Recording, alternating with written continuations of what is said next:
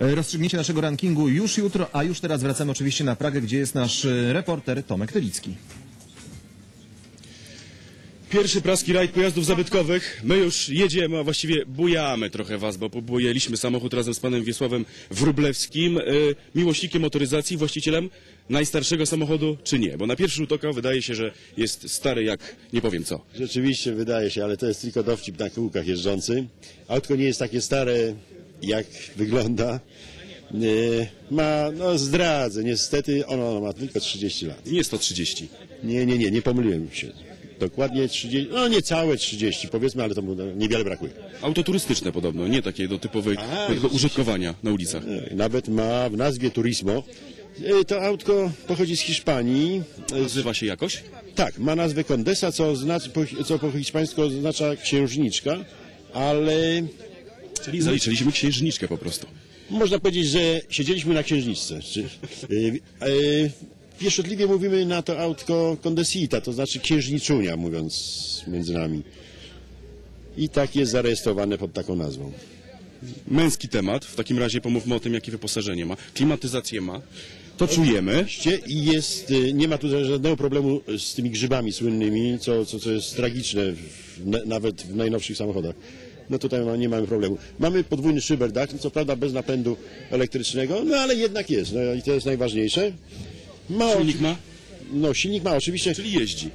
Tak, mało tego. e, Jeżeli sam samochód ma około 30 lat, to e, wszystkie mechanizmy pochodzą z- nawet sprzed wojny, konstrukcja sama, bo wykorzystano tutaj mechanizmy napędowe z Citroena 2CV. Hiszpanie mieli, bo samochód jest hiszpański, jak chyba mówiłem, e, Hiszpanie mieli fabryczkę Citroenów i wykorzystali wszystkie mechanizmy jezdne, czyli ramę, silnik, skrzynię biegów, nie, z- fabryki, no, natomiast na Balearach dokładano w fabryce w, yy, nadwozie i tutaj te, wszystkie ręczne, ręcznie wykonane z drewna dość szlachetnego elementy.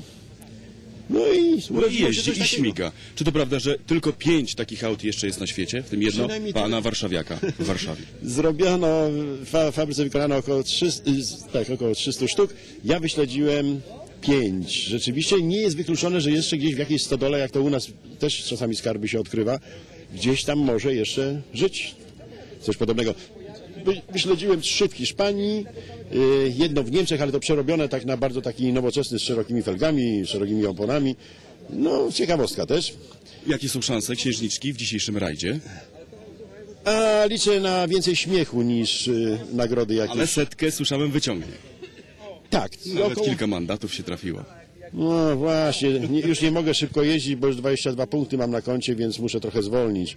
I nawet, nawet, nawet przepraszam w takim razie tych wszystkich kierowców, którzy za mną jadą, jak mi te punkty się zlikwidują, więc przy, będę przyciskał, o, w granicach. Ale dziś punktów nie będzie. Y, Dziś e, praski rajd pojazdów zabytkowych wystartuje o godzinie 10, więc miejmy nadzieję, że policja lekko oko przymykać będzie. Nie będzie zbyt szybko, będzie przede wszystkim e, zabytkowo. Początek, tak jak wspomniałem, godzina 10 to ulica Targowa 18. Później o godzinie 12.30 wszystkie te zabytkowe pojazdy, samochody, motocykle i rowery będą przy ulicy Kawęczyńskiej przed Bazyliką. Gorąco zapraszamy. Tomek Tylicki, który znalazł księżniczkę, chociaż ta księżniczka ma już swojego opiekuna. W życiu różnie bywa, to się może zmienić.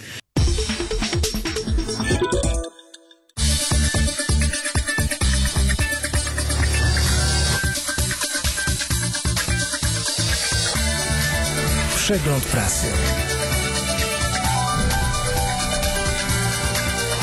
Ulice. Pogoda. Portal tvnwarszawa.pl Sport. Wszystko, co warto wiedzieć przed wyjściem z domu. Witaj Warszawo. Od poniedziałku do piątku, od 7 do 10. symbol naszej wiary został po prostu skradziony. To takie było troszeczkę tchórzowskie. Żądamy, żeby krzyż przynieśli z powrotem. tak naprawdę zatriumfowała dzisiaj demokracja i porządek publiczny. Kto z krzyżem bojuje o trzy ginie. Krzyż jest znakiem Bożej miłości. Nie będę przychodzić aż do skutku, dopóki nie będzie dotrzymane słowa, że pomnik tu ma stanąć.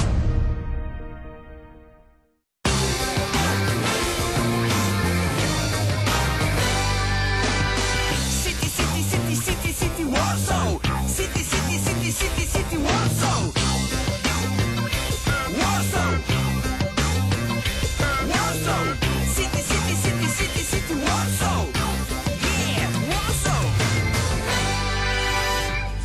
Zobaczmy. zaczynamy przejażdżkę.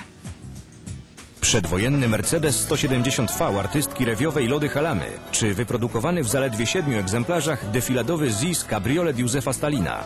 To tylko niektóre rarytasy, które znajdziecie w Muzeum Motoryzacji w Otrębusach. Zgromadzono tu naprawdę imponującą kolekcję samochodów. Od Forda Thunderbirda po ulubiony samochód nazistowskich dostojników, luksusowego Horsza. Początek muzeum dała milicyjna akcja Posesja. W latach 70. właściciele przedwojennych, niesprawnych technicznie aut byli karani mandatami. Zamiast na złom, samochody zaczęto zwozić do Otrębus. Prywatna kolekcja w 1995 roku została otwarta dla zwiedzających.